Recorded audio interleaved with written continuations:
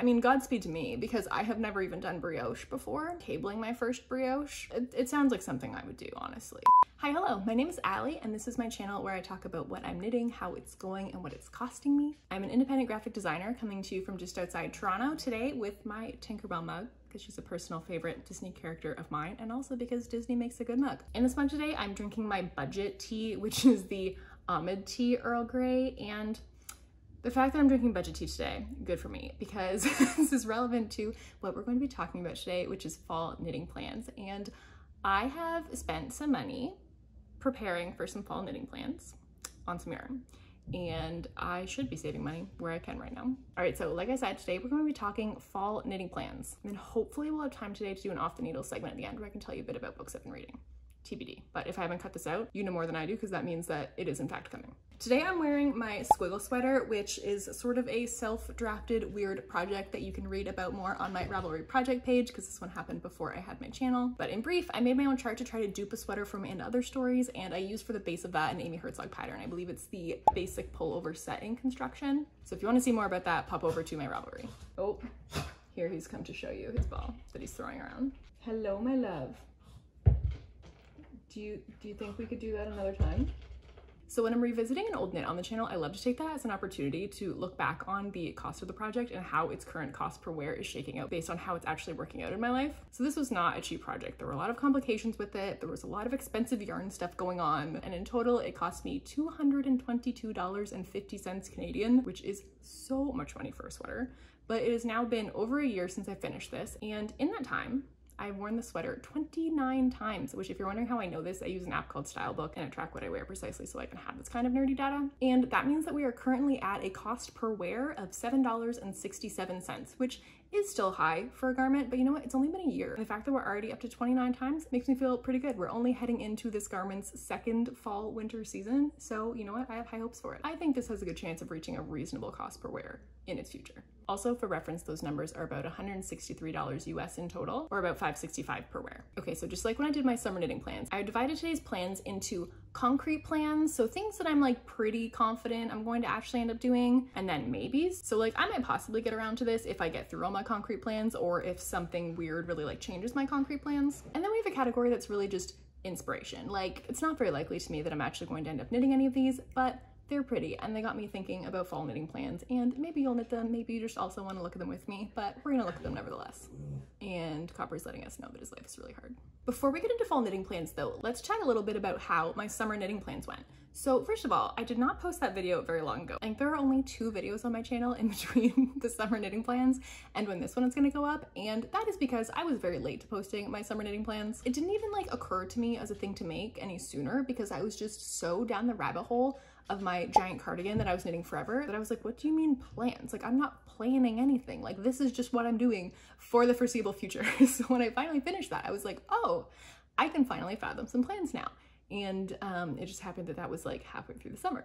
So here we are, only a few weeks later, already talking about fall knitting plans. But you know what? As much as my summer knitting plans were belated, I feel like they really checked out because the concrete plans that I said that I had in that video were my Tekla top, which is now complete and you have seen, my Fausta top, which you have seen as a WIP and is getting very close to being done. I'm pretty confident that's going to be a finished object in my next video. And little hint to what you're gonna see in that video, I have also cast on for my Sailor Swift top. So that one is far from done at this point, but it is underway. And I mean, I haven't abandoned a knitting project yet, knock on wood. So it looks like that one's happening too. So that's three for three on my concrete summer knitting plans. And let's see how my fall ones look by comparison. Now I do think there's kind of an interesting thing here where summer knits just tend to be faster projects because they're smaller garments. So looking at these fall knitting plans, I also only have three items on my concrete plans, but those three look quite a bit more ambitious than the three I had on my summer knitting plans list. Now granted, I only had half the summer for those summer knitting plans, but I don't know. I'm looking at these fall knitting plans thinking, is this ambitious? I don't know. I mean, the good news is that I think that there's definitely more room for crossover between fall and winter knitting than between summer and fall. Like it's not like January is going to come and I'm going to be like, God, I wish I wasn't knitting these wool sweaters anymore. You know, like that's just not, that's just not gonna happen. So if this kind of melds into a fall slash winter knitting plan situation, that'll be fine. I hope that there's a bit more delineation than that just because, I mean, I think that it's really fun to do seasonal knitting plan videos and if my winter knitting plans video would just be telling you about all the same patterns I'm telling you about now, I don't think that's very fun, but I love watching those videos, so I'm really hoping to be able to make one of those for you guys as well.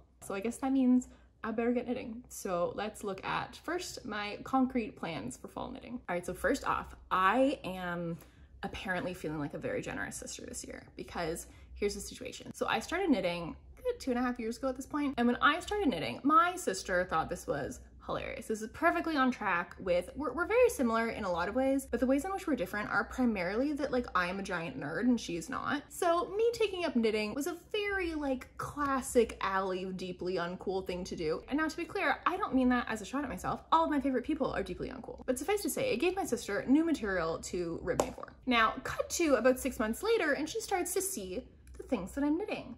And oh, isn't that interesting? Isn't that interesting that some of them are cute?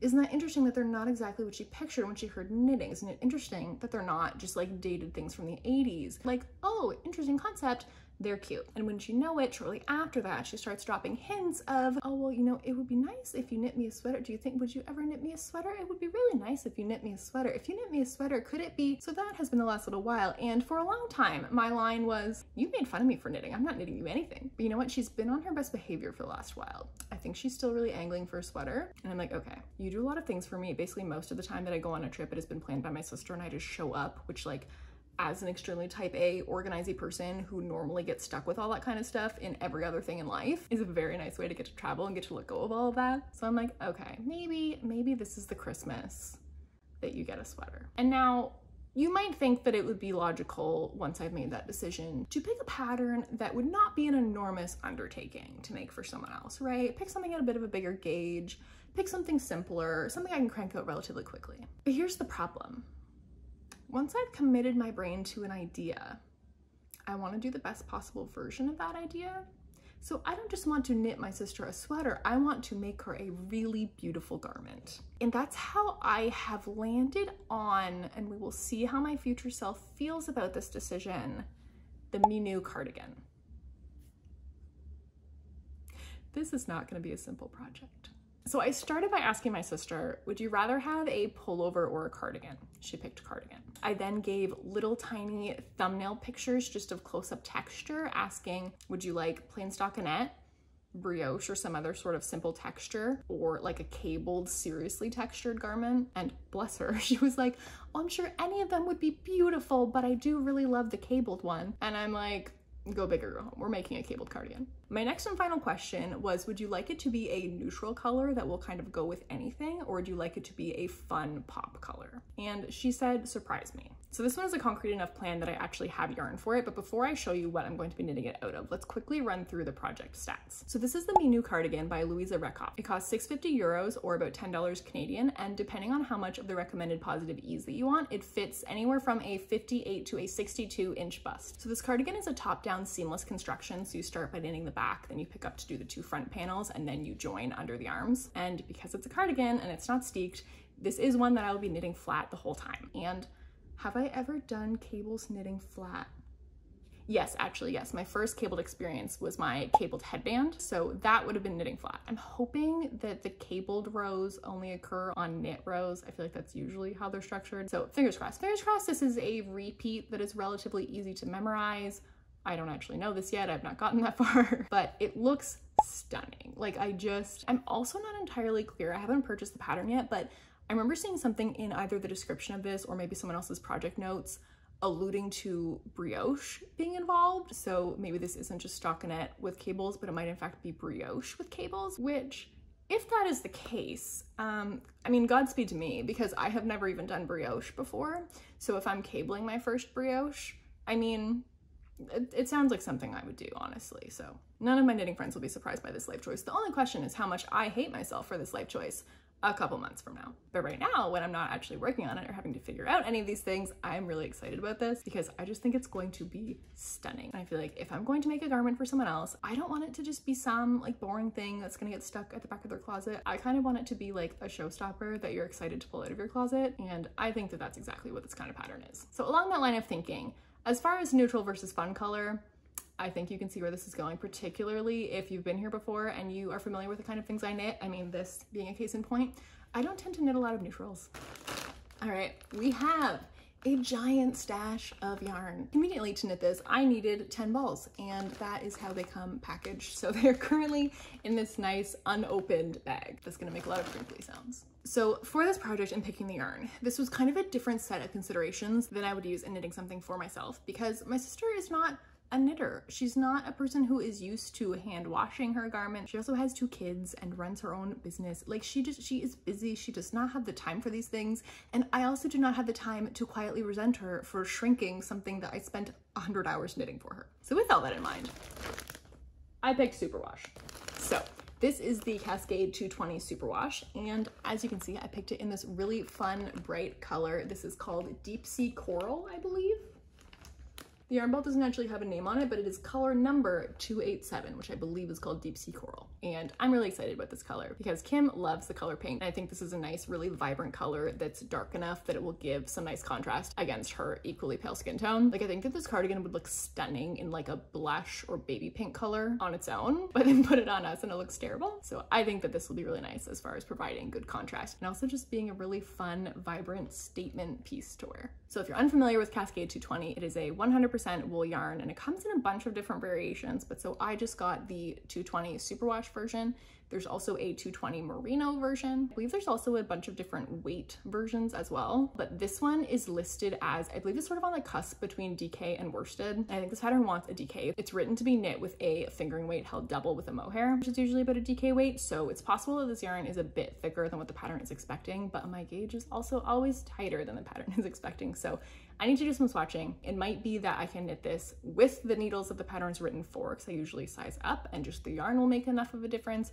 It may be that I need to do both. It may be that I have more of a problem. And it might be that I have to knit a size smaller to end up at the size I actually want to if my gauge ends up being big. So we'll see how that works out. Step one is gonna be knitting a swatch for this one. Now, because I already have the yarn for this, we can actually talk numbers for this one. So I ordered this online from Le Laine Biscotte, which is a Canadian yarn store. And I think it was the only place where I found this much of this color in stock. Now, fortunately, I had to buy enough of this that I got free shipping, so my total was $152 Canadian. Or once you add in the pattern cost, that brings the total project cost to $163 Canadian, or about 119 US. Which this is where gift knitting gets tough because like I might spend that much on my sister's Christmas present in a normal year, but that would be kind of the top end of the range I would ever spend. But now I've spent that and I'm so far from having her present ready. like, now I've spent more money than usual and I have so much work to do. Why am I doing this? So this is gonna be one of those strange things where like, I guess just some years, someone in my family is just gonna get a much better Christmas present than everyone else. Cause I can't match this. I can't make everyone a sweater every year. So I think everyone else just has to be okay with it being Kim's year this year. And maybe it'll be your year another year. So that is the first concrete knitting plan of the fall. That is the Minou cardigan for my sister. Now, is this actually going to be the first thing that I cast on this fall? I'm not sure. The next one that I'm gonna talk about is kind of vying for the next project slot against the Minou cardigan. And I'm trying to determine, do I want to knit her cardigan first so that it is done with plenty of time before Christmas and I don't have to worry about it and it's not a rush and there's not a stress? Or do I want to knit the next one first because it is for me? And if it is for me, would I rather have it for more of the fall slash winter season than I will if I wait to knit it until after Kim's is done. Do you know what I mean? Like Kim's cardigan sitting here like all November and all December if it's done already doesn't really help anyone. So I'm not really sure which way I'm gonna go on that. Maybe I'll just swatch both and see what I feel like. Maybe I will just arbitrarily pick one one day.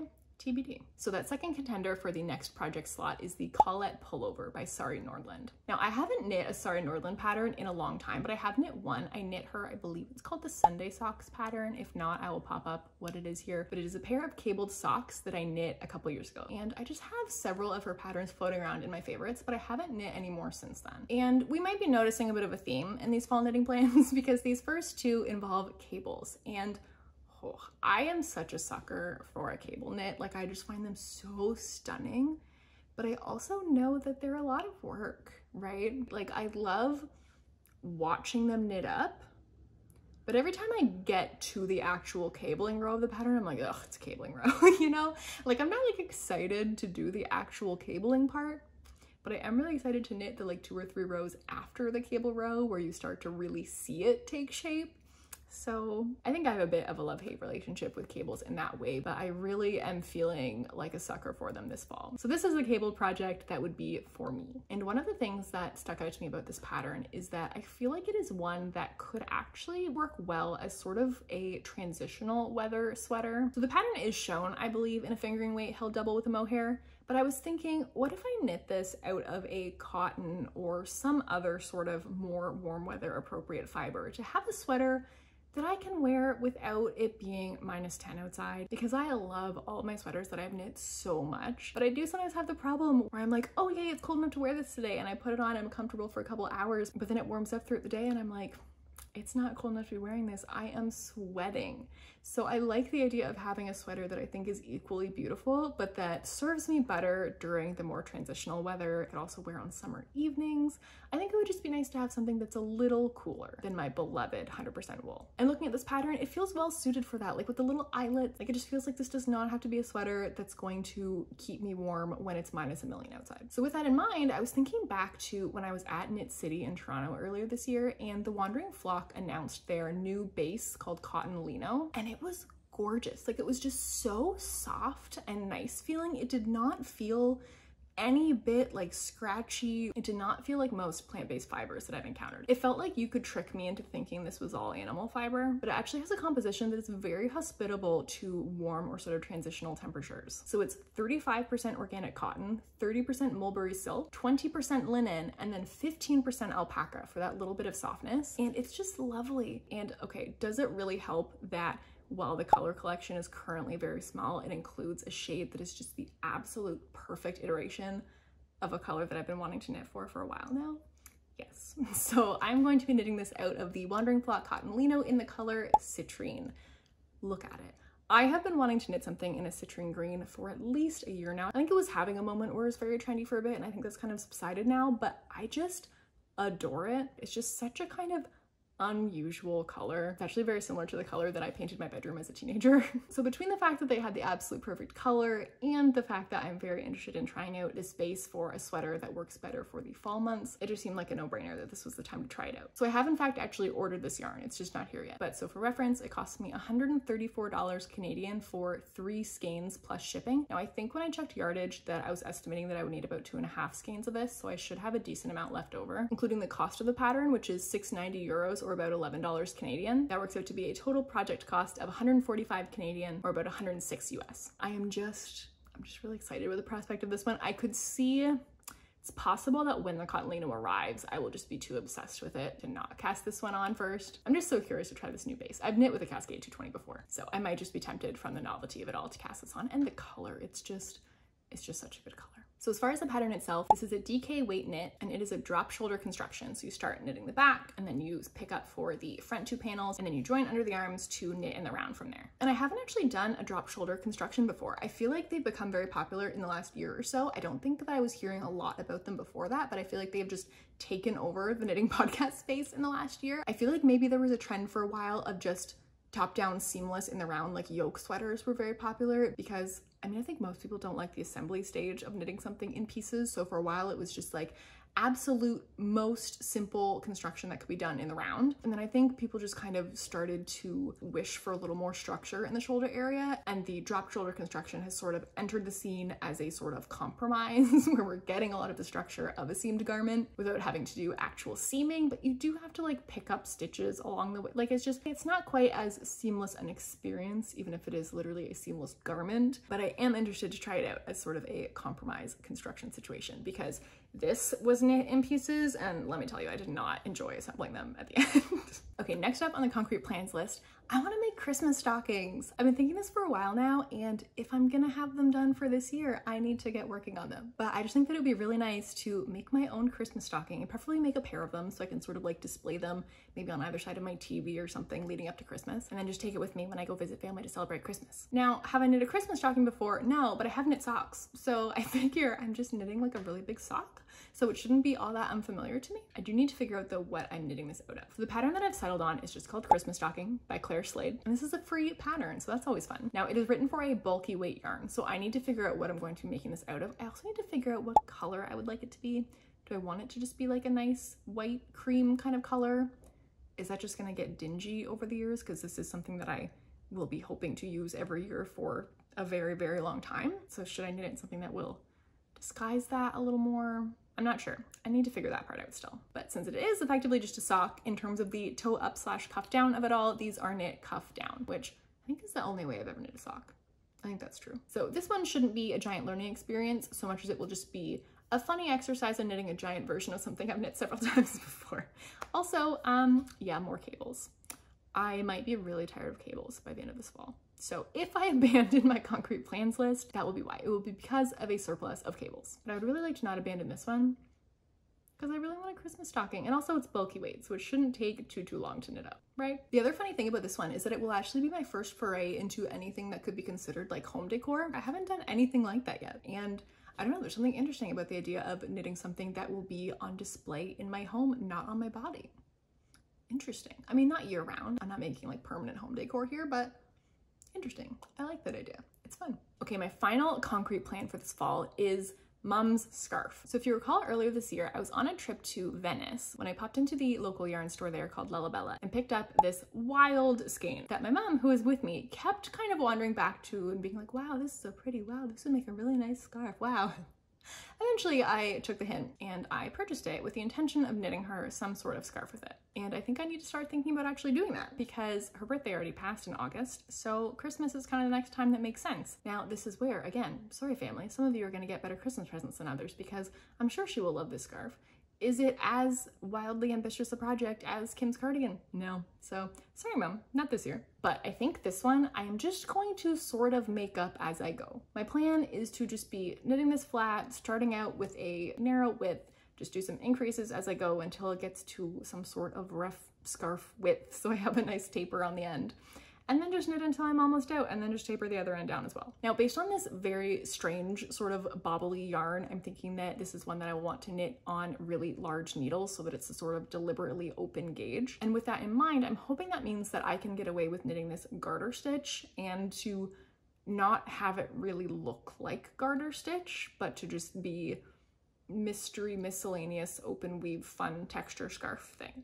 This is what I'm hoping. I need to swatch it though. But in terms of material, this yarn is Alp Premier in the color 420. And I lost my receipt from this, but I think it cost me about $30 Canadian for this skein. So this one is the biggest sort of question mark just as far as like what's it actually gonna look like is it gonna work out the way i think it's going to there's definitely going to be some improvisation and probably some going back and changing things and trying a different thing along the way. So with that in mind, I should probably just kind of start this one soon as a back burner project because I'm hoping that once it's started, it's just going to be sort of mindless anyway. Like I'll just be knitting a lot of length of scarf until I'm almost out of yarn. That will probably be a good one to have when other projects are sort of temporarily out of commission because of a mid-project block or something like that. Okay, that is it for my concrete plans this year. So let's get into slightly dreaming category. Let's get into, I have so much more time on my hands than anticipated anticipated category, let's get into the maybes. So the first thing on my maybe list is another one by Sari Nordlund. This is the Ballard Pullover. Now,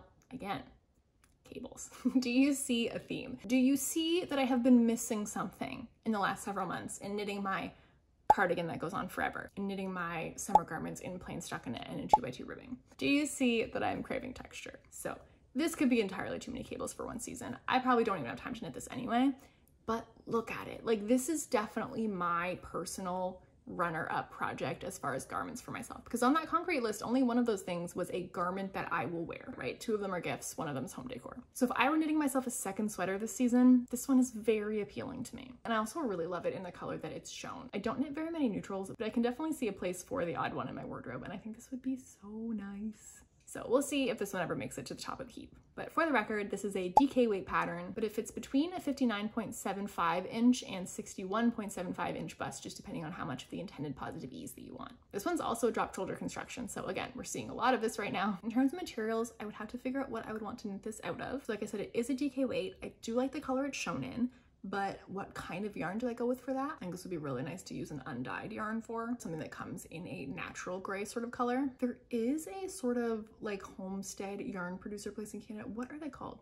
Long Way Homestead, which is, I believe, in Manitoba. It's definitely in Canada. And they are really big proponents of the Canadian wool industry. They produce and process their own wool right there on their farm. And I know that they make some really beautiful undyed yarns. So maybe I need to kind of follow their release schedule for the next little bit and see if they're putting out anything that would be a good fit for this sweater. Because I've been interested in trying their yarn for a while and then I did see them at Knit City Toronto and their stuff was really nice in person too. They had a nice range of different bases and I think that I could get something that feels really sort of satisfyingly sheepy woolly that would be really nice to use for this garment but i am just oh i just want to touch this one i want to squish it like i just i really love the kind of structured delineation of the cables i think that it's a kind of unusual and modern take on a cabled garment and i just i want it I want to make it. Why, why, why don't I have more knitting time in my life? I just want to make everything. That's not true. I'm really picky. I just want to knit the too many things that I still like despite being incredibly picky and only having a limited amount of time to knit in and budget. There's also that. All right, the next thing on my maybe list is the Lumme sweater, which is also by Sari Nordlund. I, you guys, cables and Sari. These are the two themes of this planning video. I, I make no apologies. But here's the thing. I have actually never done stranded color work. I've done quite a bit of intarsia, as you can see, and I love doing fun things with colors in garments, but I have not yet done stranded color work, which feels wrong. but I think that I have struggled to find the one pattern that I want to be the first one that I do. I think I just have a sense that stranded color work is a lot of work. It's going to be a new technique that I've never done before. It also adds to the cost of a project because you're basically using twice as much yarn or sometimes even more depending on how many colors are in the stranded color work in a given row. So that racks up the project cost. And I think that I, I have this issue where when I look at stranded colorwork sweaters as a whole, particularly ones with just sort of a, an interesting yoke. I love them as a whole, like as a genre, I'm obsessed, but I really struggle to pick out one individual one. Like which one is the one that I want to make because I love them more as a collection than as an individual unit. So trying to pick one feels, it feels like I'm trying to pick one that encapsulates everything I ever love about stranded colorwork. It's the picky part of my brain being like, you must find the absolute perfect sort of prototypical stranded colorwork sweater and I just haven't found that yet. I haven't found the one where I'm like, this is definitely the one that I must knit right now. And I think part of the reason that this pattern is still on my maybes list and it's not one of my concrete plans, has not taken the place of the Colette pullover, for instance, is that I'm just still not entirely sure this is the one. I just don't know how to pick one when I just love all of them. Now, I think that this one has done a good job of worming its way more into my heart as a single sweater than most of the patterns that I've considered so far. But I'm just not like quite sold yet. But then I'm like, maybe you just need to get over that and knit one and then you can just knit another one, right? Like you can have a collection. you don't have to have the one stranded colorwork sweater to end all stranded colorwork sweaters. So I think at some point I just need to do stranded colorwork and get it over with.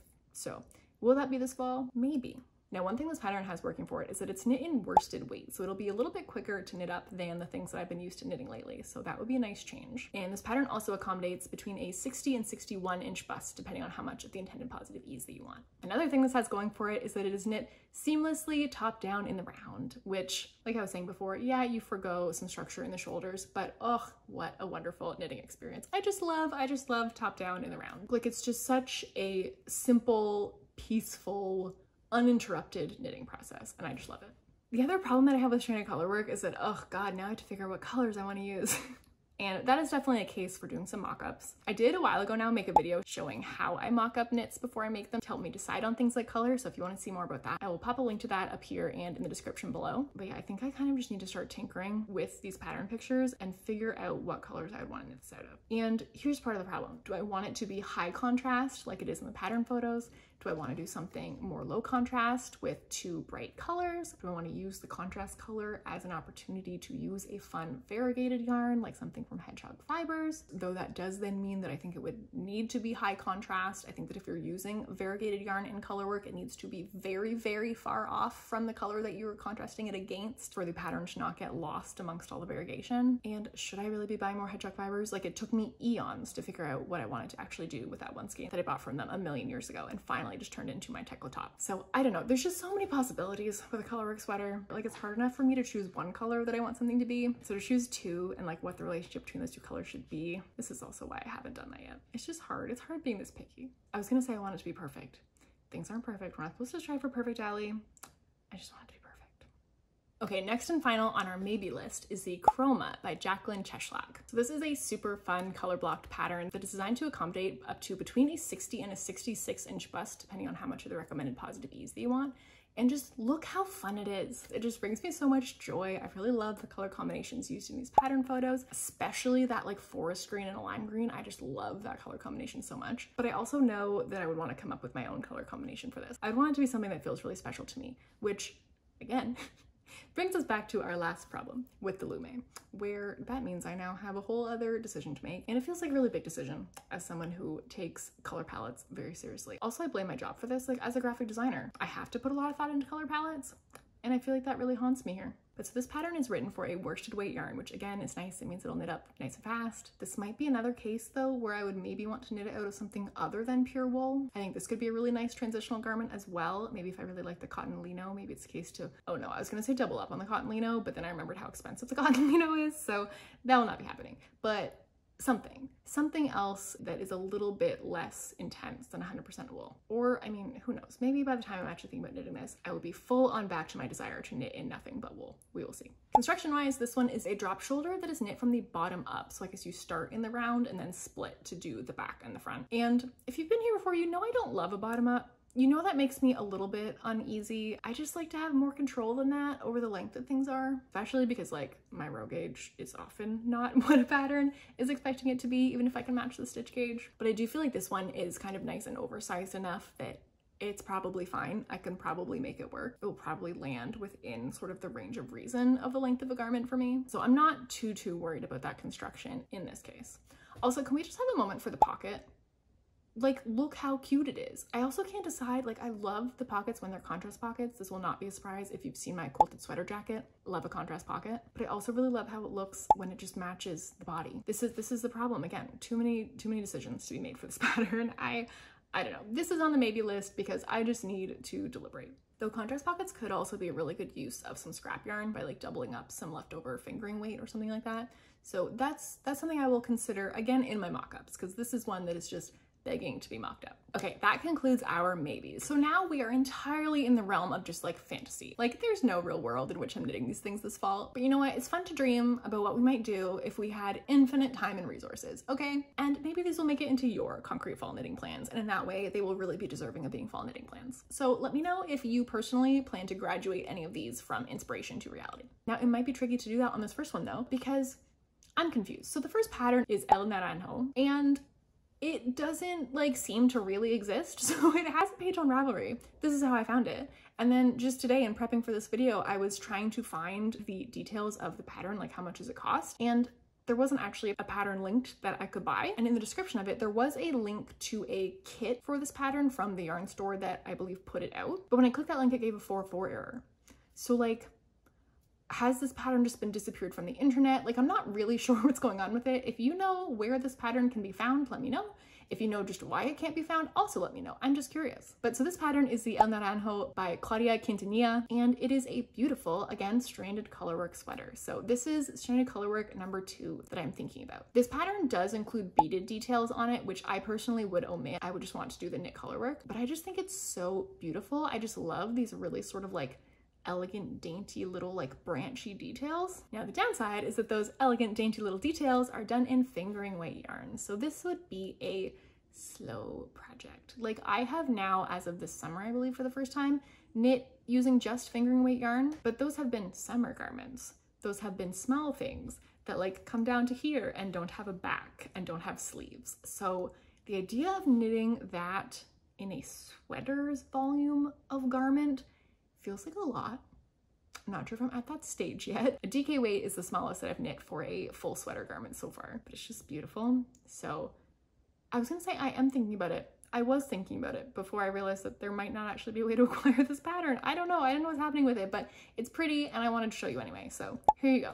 Look how pretty it is. And maybe not very relevant because I don't know if we can have it, but it does allegedly accommodate between a 59.5 inch bust to a 64.5 inch bust, which is a wonderful range if the pattern exists. Also, no one has logged any projects of it on Ravelry. So I guess I'm probably not the only person who can't figure out how to find a pattern for this. But also, I don't know that I would want to knit something that doesn't have any projects I can look at on Ravelry because I feel like there is often just such a range in how your garment can turn out looking compared to the pattern photos, just depending on the differences of how we each individually knit things and just how we each individually look, like how it fits our particular bodies. So I really like to be able to look at a lot of different project photos and get a sense of the sort of average, like how does it fit in the pattern photos, but how does it fit most people who are wearing it? Because mine is more likely to end up somewhere in this soup than looking exactly like this. So I try not to get too attached to a pattern's particular marketing photos but in this case, that's all I have. So I really need more information on this one, including how to knit it, like a pattern. So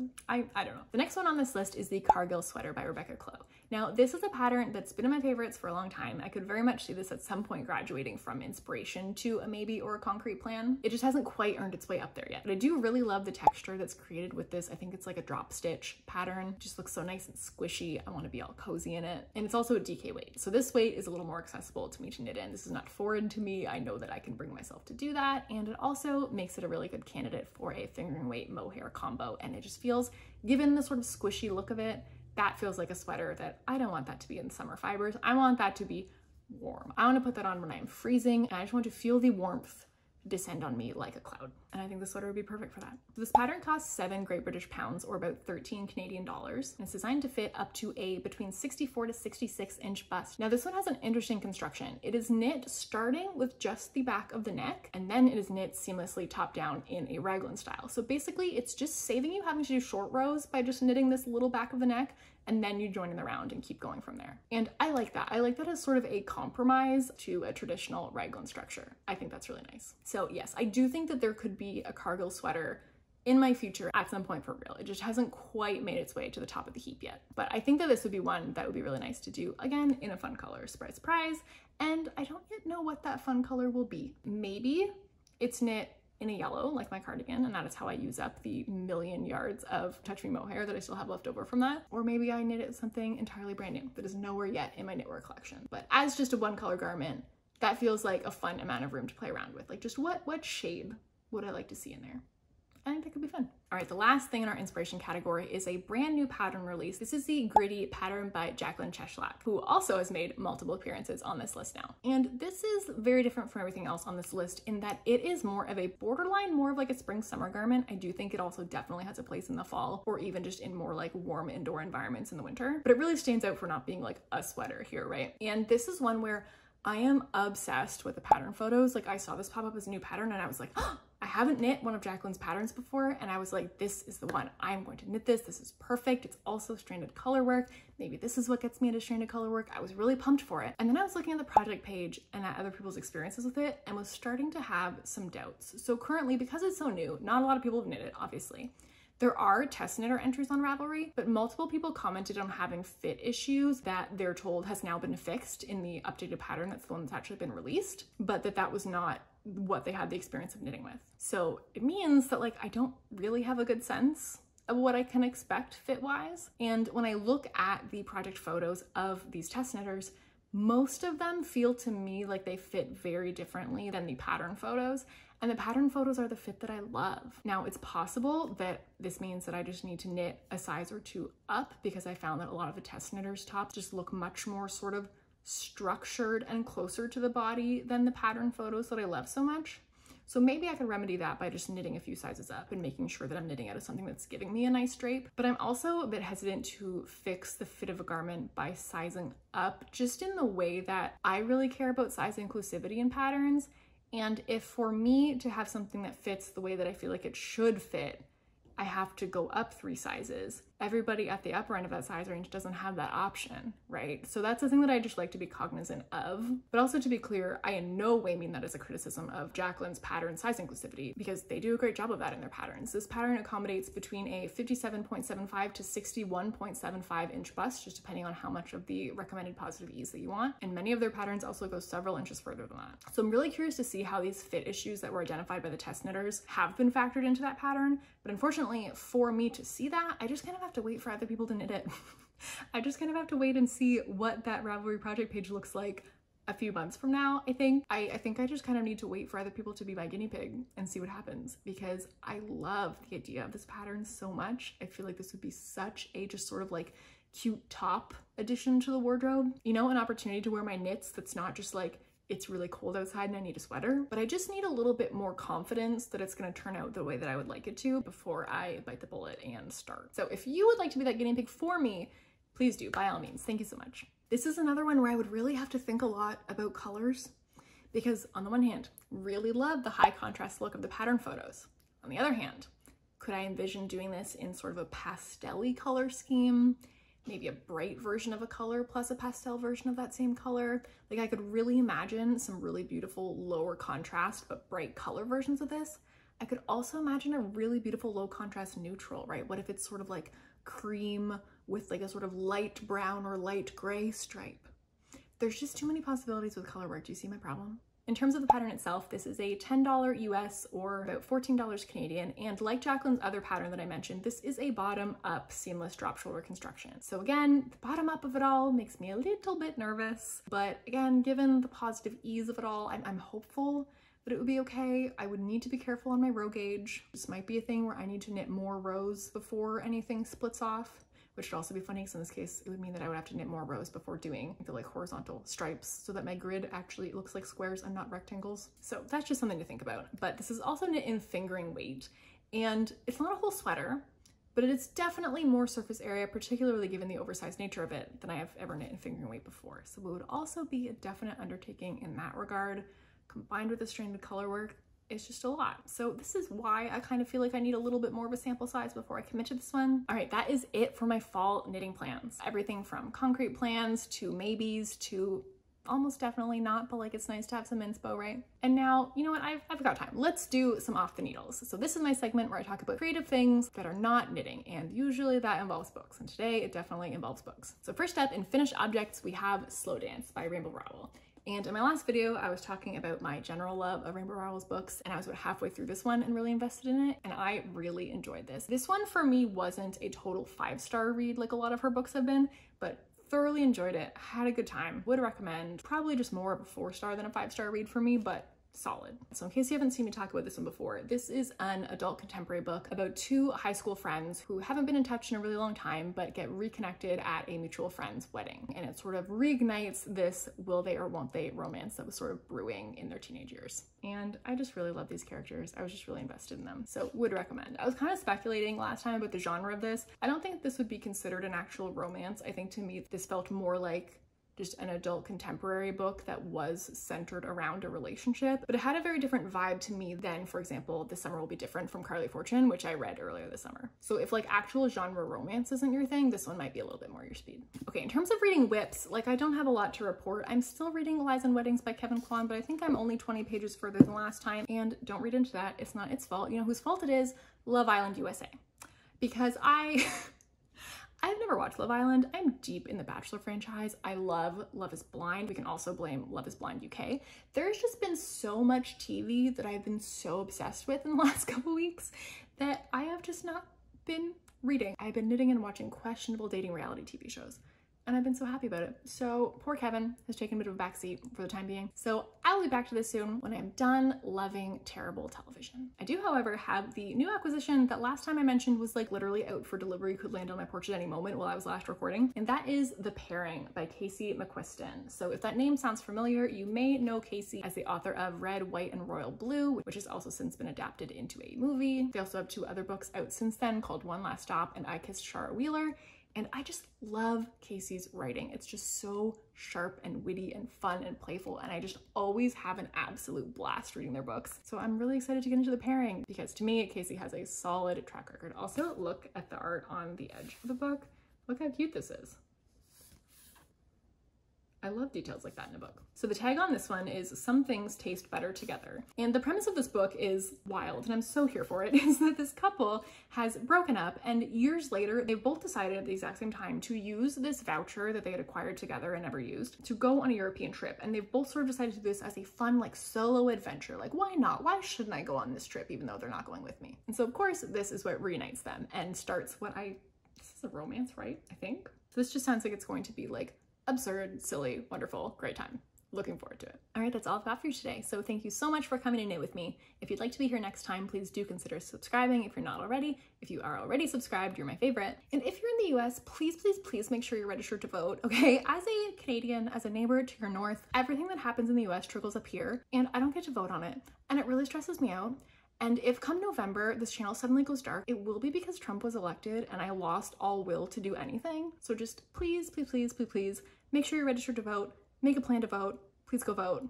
Thank you. I'll catch you next time. Bye.